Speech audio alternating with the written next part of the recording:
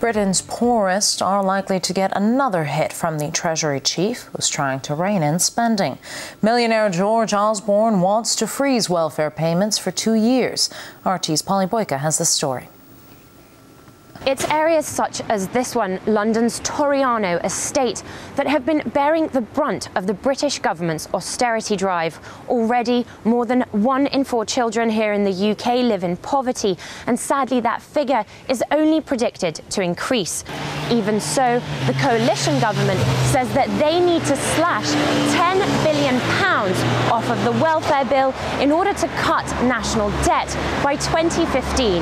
Now, the British Chancellor George Osborne is reportedly considering freezing working age benefits in order to hit that target. We're already talking about uh, groups of people who are squeezed, are struggling, um, have had their living standards affected over the last couple of years because of uh, what's happened in the, in the global economic environment um, and what's been happening closer to home. Um, and if this change or something like it were to go through, we would see those living standards uh, further affected for the worst.